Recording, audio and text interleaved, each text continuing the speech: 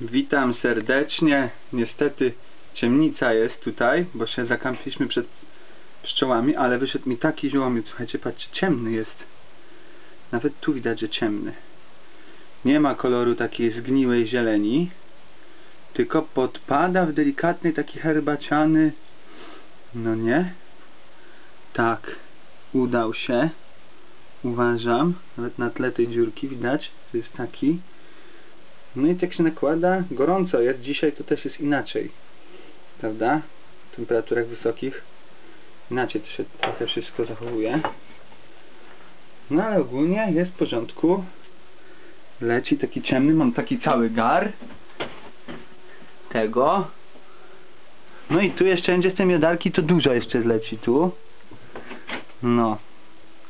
Będzie, prawda? Ja jestem zadowolony. Później jak będzie w słoiczkach, to wam pokażę jak wygląda w słoiczkach, bo to jest ciemnica. I na łyżeczce. I będziemy go smakować. Ja jeszcze go nie smakowałem nawet, szczerze powiem. Ewelina mówi, że dobry. Nie?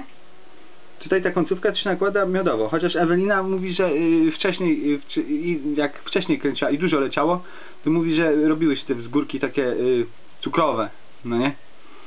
No. To by było to wszystko, jeśli chodzi o przedstawienie y, ziomiodu lecącego y, miodarki. I życzę wszystkim miłego dnia.